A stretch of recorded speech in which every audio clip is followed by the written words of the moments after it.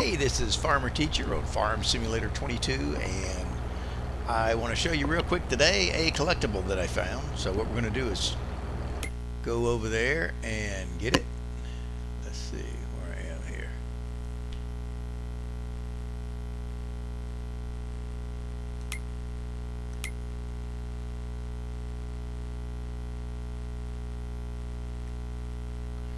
It's here at the bakery, so we're going to transport over there.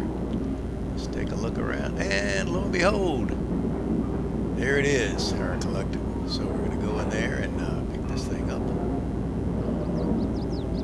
Oops, I'm sorry, you don't pick it up. You just hit the uh, key there, I guess. Collect, and we should get a thousand bucks. Boom!